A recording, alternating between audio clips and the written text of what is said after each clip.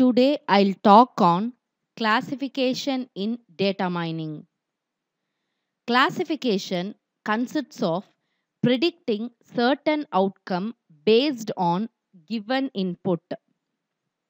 Classification is a systematic approach to build classification models from input data.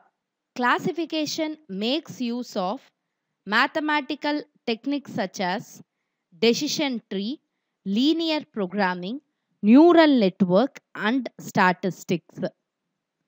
Number of algorithms are available to perform classification.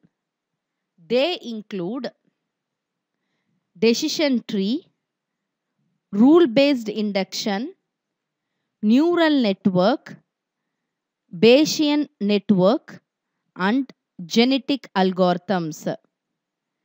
These are some of the algorithms used for classification.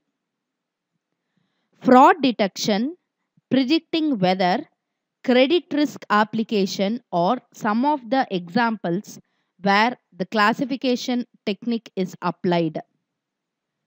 Classification process involves two phases learning phase and classification phase.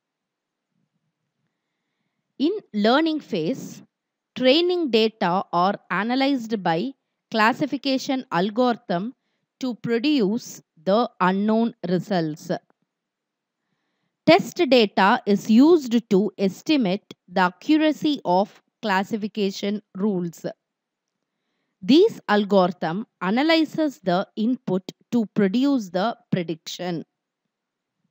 Look at this picture.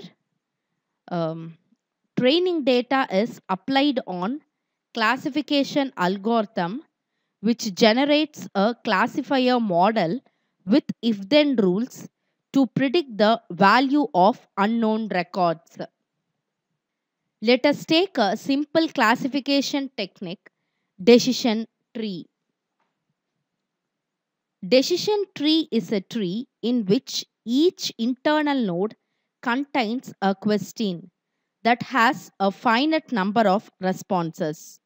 For example, we could use questions whose answer are true or false, yes or no, or multiple choice. Each possible answer to that question corresponds to the child of that node. Each child might be an additional question or conclusion.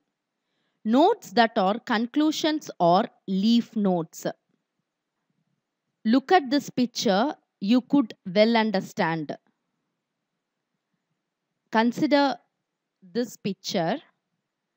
This picture is a part of decision tree which has yes no question that diagnose a problem with TV. Question is placed in the root node based on user's answer. Conclusion is found in leaf node. Thus, classification is explained. Thank you.